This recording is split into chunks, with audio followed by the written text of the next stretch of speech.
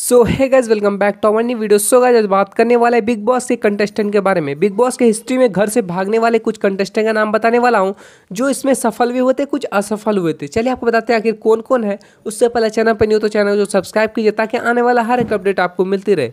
So guys first नाम है Kushal Tandon. Bigg Boss season seven में दीवाल छलांग लगाकर भागने की कोशिश की थी।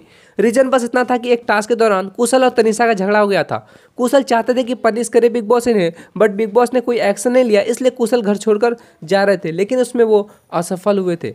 सो गाय दूसरा नाम है बिग बॉस सीज़न टू में राहुल महाजन और उनके दोस्त, जो कि बिग बॉस के गेट तोड़कर भागने की कोशिश की थी। बट इसमें राहुल महाजन उनके दोस्त सफल तो हो गए थे, लेकिन बिग बॉस के आदेश के अंदर बुलाया गया। फिर राहुल महाजन ने शो को क्यूट कर दिया। सो गाय तीसरा नाम है अली मिर्ज़ा। ये सीज़न एट में सोनाली ने थप्पड़ मार दिया था अली मिर्ज़ा को, इसलिए शो छोड़कर जा रहे थे। गैस भाई बात को नेक्स्ट है।